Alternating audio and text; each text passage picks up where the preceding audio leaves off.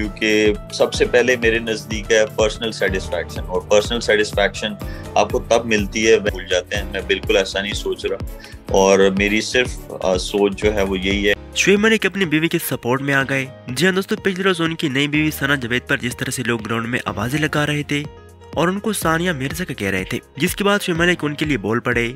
उन्होंने कहा, क्रिकेट के मैदान एंटरटेनमेंट वाली जगह होती है, लेकिन अगर वहाँ पर आप किसी की पर्सनल लाइफ को छेड़ते हैं तो ये एक बिल्कुल गलत बात है।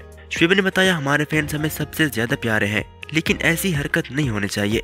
दोस्तों, जो लोग सना जवेद के ऊपर बाजी लगा रहे थे, उनसे आप क्या कहना चाहोगे? हमें कमेंट करके ज़रूर बताएँ।